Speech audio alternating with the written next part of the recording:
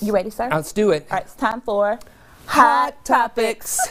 yes. well, of course, there's all the ways that you can raise money All the ways. for a scholarship fund, but there's one that's definitely got to be This is sweet. the sweet. Let's take a look Sweet, at this. sweet. It's the 29th, 28th annual Ohio Stadium cake on full display during the Buckeyes homecoming celebration over the weekend. The 200 plus pound cake made up of 87 boxes of cake mixes, 100 pounds of powdered sugar. According to the cake's website, this sweet creation is a fun way to celebrate the tradition of Ohio State football and it also serves as a scholarship program. Since 2004, 81 scholarships have been awarded to worthy students from the Stadium Cake Scholarship Fund.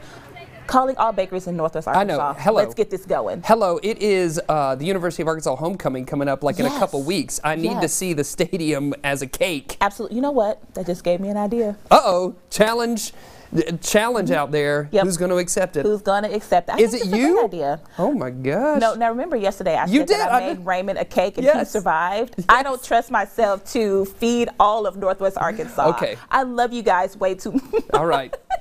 to, to subject us best to your. let- That's right. Best let the professionals handle that. That's right. Let's do it. It's homecoming. Uh, homecoming week's coming up. I want to see that University of Arkansas uh, Yeah. stadium Yeah, cake. sure. It's amazing. Well, there's a police officer who sure does know how to bust a move. Check this out. K9 officer Chris Schilling is seen here talking to some kids about law enforcement at a school, and then out of nowhere, he cues someone off camera to hit the beat. Check him out, showing the kids how it's done as the noise of uh, sirens and horn blend into a very unique beat. Schilling likes to get jiggy with it.